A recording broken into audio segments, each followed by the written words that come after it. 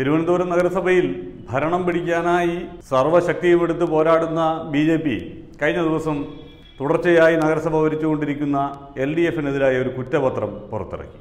ഒരു കുറ്റപത്രം പുറത്തിറക്കുമ്പോഴെങ്കിലും ആളുകളെ ബോധ്യപ്പെടുത്താൻ കഴിയുന്ന രീതിയിലുള്ള ചില കാര്യങ്ങൾ പറയാൻ ബി ജെ പി ശ്രദ്ധിക്കേണ്ടതായിരുന്നു.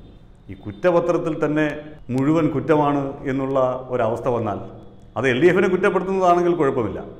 ആ കുറ്റപത്രം മുഴുവൻ വായിച്ചു തീരുമ്പോൾ നമുക്ക് വലിയ സംശയം തോന്നും. കാരണം കുറ്റപത്രത്തിൽ പറയുന്ന ഒട്ടുമിക്ക പ്രദേശങ്ങളുടെയും ജനപ്രതിനിധികളായി കഴിഞ്ഞ രണ്ട് തവണയായിട്ടൊക്കെ ഇരുന്നത് ബി ജെ പിയുടെ ആളുകളാണ്. സ്വന്തം നാട്ടിലെ പൊതു ഇടങ്ങൾ മോശമായി കിടക്കുന്നു എന്നുള്ളൊരവസ്ഥ വന്നാൽ ആ നാട്ടിലെ ജനപ്രതിനിധികൾ ആ കൗൺസിലിന്റെ മുന്നിലെങ്കിലും പോയി ഒരു സമരം പോലും നടത്താതെ ഏറ്റവും ഒടുവിൽ കുറേ ചിത്രങ്ങളും എടുത്തു വന്ന് ഈ നാടിന്റെ അവസ്ഥ കണ്ടോ?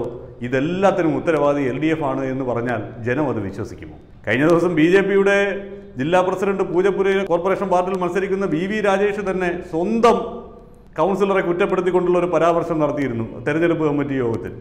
പൂജപ്പുര വാർഡിലെ ചില ബൂത്തുകളിൽ ആളുകളെ കാണാൻ ചെന്നപ്പോൾ അവരെല്ലാവരും ഡ്രെയിനേജിന്റെ പ്രശ്നമാണ് പറയുന്നത് എന്ന്. സ്വന്തം കൗൺസിലറെ പഴയ കൗൺസിലറെ അവിടെ കൂടെ ഇരുത്തിക്കൊണ്ടാണ് രാജേഷ് പറഞ്ഞത്. ഇങ്ങനെയാണോ പൂജപ്പുര വാർഡിൽ വികസനം വരേണ്ടത് എന്നൊക്കെ. അതിന് സമാനമായ ഒരു അവസ്ഥയാണ് ഈ കുറ്റപത്രത്തിലുള്ളത്. തിരുവനന്തപുരത്തെ പുത്തരിക്കണ്ടം മൈതാനത്ത് മാലിന്യം കിടക്കുന്നു എന്നത്. അവിടുത്തെ ഡ്രെയിനേജുകൾ പ്രശ്നമാണ് എന്നുള്ളത്. നഗരഹൃദയത്തിലുള്ള ആമയെഴുഞ്ചാൻ തോടിന്റെ ദുരവസ്ഥ. ഇതൊക്കെ പരിഹരിക്കുന്നതിന് വേണ്ടി അതാത് മേഖലകളിലുള്ള കൗൺസിലർമാർ എന്ത് ഇടപെടൽ നടത്തി എന്നുള്ള ചോദ്യം സ്വാഭാവികമായി ഉയരില്ലേ?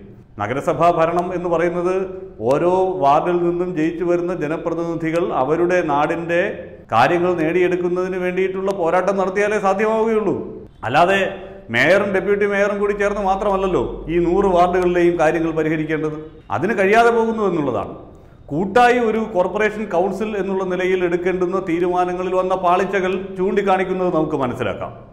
പക്ഷെ അതിനപ്പുറത്ത് ഇത്തരത്തിലുള്ള പ്രാദേശിക പ്രശ്നങ്ങൾ പരിഹരിക്കാൻ ഇടപെടലുണ്ടായില്ലെന്നും അതിന്റെയൊക്കെ ആ നാട്ടിലൊക്കെ കൗൺസിലർമാരായിരിക്കുന്നത് ബി ജെ പിക്കാരാണ് എന്നും വരുമ്പോൾ ആ കുറ്റപത്രത്തിന് എന്തു കാര്യം?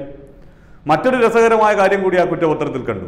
ഇവിടെ കിച്ചൺ വേസ്റ്റുകൾ ഇല്ലാതാക്കുന്നതിന് വേണ്ടി അത് നിർമ്മാർജനം ചെയ്യുന്നതിന് വേണ്ടിയിട്ടുള്ള ഒരു പദ്ധതി ആവിഷ്കരിച്ചതിൽ കിച്ചൺ ബാസ്ക്കറ്റുകൾ ഈ വേസ്റ്റ് ബിൻ ബാസ്ക്കറ്റുകൾ വാങ്ങിയത് ശുചിത്വ മിഷന്റെ അക്രഡിറ്റഡ് ആയിട്ടുള്ള ഐ ടി ആർ സി എന്ന് പറയുന്ന കമ്പനിയിൽ നിന്നാണ്. അതിന് ആയിരത്തി എണ്ണൂറ് രൂപ വീതം ചെലവഴിച്ചു ഒരു ബിന്നിന് വേണ്ടി എന്നുള്ളതാണ് ബി ജെ പി ഉയർത്തുന്ന ഒരു ആരോപണം അതിൽ അഴിമതിയുണ്ട് എന്നാണ് പറയുന്നത്.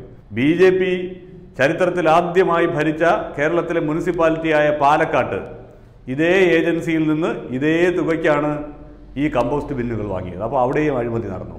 ഒരേ സാധനം ഒരേ വില കൊടുത്ത് ഒരേ കമ്പനിയിൽ നിന്ന് വാങ്ങിയ തിരുവനന്തപുരം നഗരസഭയും പാലക്കാട് നഗരസഭയും. അതിൽ തിരുവനന്തപുരത്ത് മാത്രം അഴിമതി ആരോപണം ഉണ്ടാവുകയും പാലക്കാട്ട് അഴിമതി ആരോപണം ഇല്ലാതിരിക്കുകയും ചെയ്യുന്നത് എങ്ങനെയാണ്? അപ്പോൾ ആ കുറ്റപത്രം അക്ഷരാർത്ഥത്തിൽ ബി ജെ പിക്കെതിരെ കൂടിയുള്ള കുറ്റപത്രമാണ്. തിരുവനന്തപുരം നഗരസഭയിലെ മുഖ്യ പ്രതിപക്ഷമായിരുന്ന ബി ജെ പിക്കെതിരെയുള്ള കുറ്റപത്രമാണ്. തിരുവനന്തപുരം നഗരസഭയിൽ ഇത്തരം വിഷയങ്ങൾ ഇത്തരം കെടുകാര്യസ്ഥതകൾ ഉണ്ടായി എങ്കിൽ ബി ജെ പി എന്തുകൊണ്ട് ഒരു വലിയ ജനകീയ പ്രക്ഷോഭം ആ വിഷയത്തിൽ ഇതുവരെയും ഉയർത്തിയില്ല? തെരഞ്ഞെടുപ്പ് വരുമ്പോൾ മാത്രം കുറേ ചിത്രങ്ങൾ എടുത്താണോ അത് ചെയ്യേണ്ടത്? കുറ്റപത്രത്തിൽ കൊടുത്തിരിക്കുന്ന ചിത്രങ്ങൾ ഒരേ ചിത്രം തന്നെ നാലും അഞ്ചും സ്ഥലങ്ങളിൽ ആവർത്തിച്ചിട്ടുണ്ട്. അങ്ങനെ യഥാർത്ഥത്തിലുള്ള ചിത്രങ്ങൾ പോലും കൊടുക്കാൻ സാധിക്കുന്നില്ല.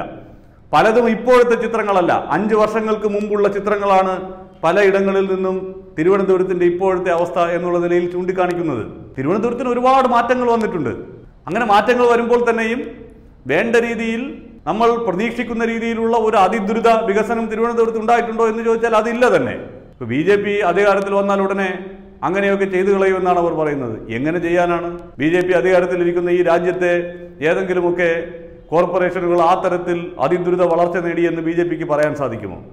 വാരാണസി പോലെ ആക്കുമെന്നാണ് സുരേന്ദ്രൻ പറയുന്നത്. വാരാണസിയുടെ അവസ്ഥ എന്താണ്? മാലിന്യ നിർമ്മാർജനത്തിന്റെ കാര്യത്തിൽ മാലിന്യ പുകയുടെ കാര്യത്തിലൊക്കെ വാരാണസി നാട്ടുകാർക്ക് വഴി നടക്കാൻ പറ്റാത്ത അവസ്ഥയിലുള്ള ഇടമാണ്. ഒരു ടൂറിസം പിലിഗ്രിമേജ് ടൂറിസം കേന്ദ്രം എന്നുള്ള നിലയിലുള്ള വികസനത്തിനപ്പുറം ആ നാടിന്റെ അടിസ്ഥാന സൗകര്യ വികസനത്തിൽ ഒന്നും ഒരു ഒരു ചുക്കും ചെയ്യാനായിട്ടില്ല ഇതുവരെയും ബി ജെ പി ഭരിക്കുന്ന കോർപ്പറേഷനുണ്ട്. ബി ജെ പിയുടെ എം പി പ്രധാനമന്ത്രിയാണ്. എന്നിട്ട് പോലും ആ നാടിന്റെ അവസ്ഥ എന്താണ് എന്ന് അതേക്കുറിച്ച് വെറുതെ ഒന്ന് ഗൂഗിളിൽ സെർച്ച് ചെയ്ത് നോക്കിയാൽ മനസ്സിലാകാവുന്നതേ ഉള്ളൂ.